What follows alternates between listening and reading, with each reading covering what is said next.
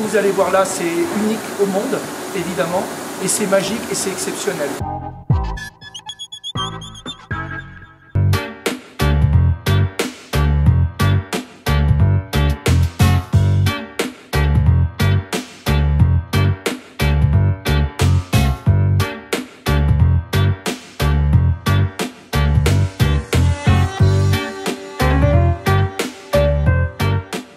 On l'art au milieu d'un centre de production.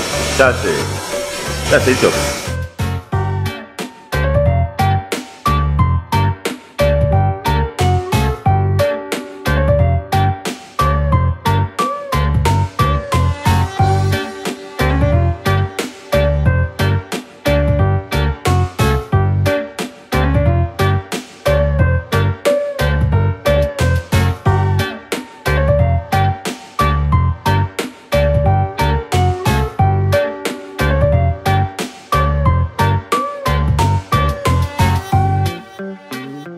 Donne l'opportunité de, mettre la plupart de mes pièces, quoi.